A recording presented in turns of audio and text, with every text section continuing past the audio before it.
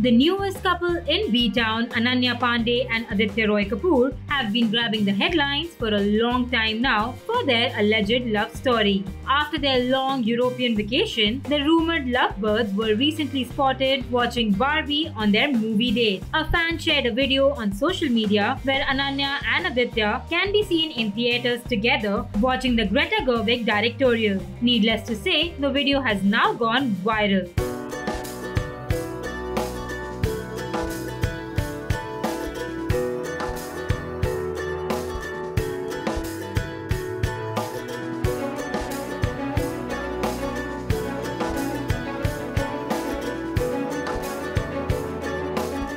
Video, Aditya is seen walking into the cinema hall, and the fan also got to click pictures with both Aditya and Ananya. While Adi looked dapper as ever in a white shirt and black pants, Ananya looked pretty in a casual pink dress with a messy bun.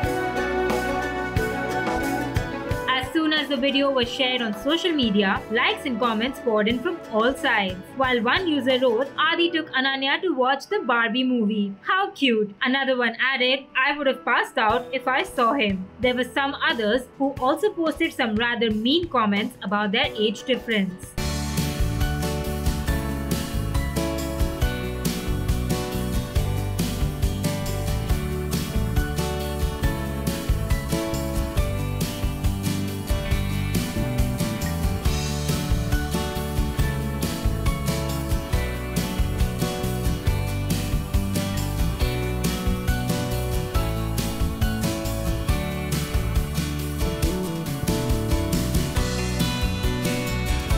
Interestingly, Aditya and Ananya were also caught off guard by the paparazzi after their movie date while they were cruising in the city in the same car in Bandra. Ananya acted quite surprised and she was trying to hide her face from the shutterbugs. On the other hand, Aditya didn't look bothered at all and he was smiling from ear to ear.